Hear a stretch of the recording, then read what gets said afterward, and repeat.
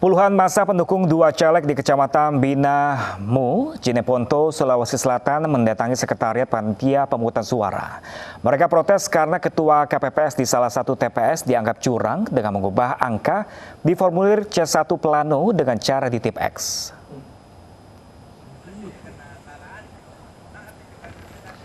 Puluhan masa pendukung dua calon legislatif dari dua partai berbeda di satu dapil yang sama mendatangi sekretariat Panitia Pemungutan Suara Kelurahan Empuang Kota Kecamatan Binamu.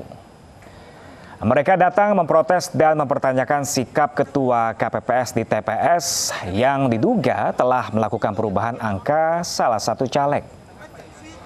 Tim sukses caleg merasa dirugikan atas ulah Ketua KPPS tersebut.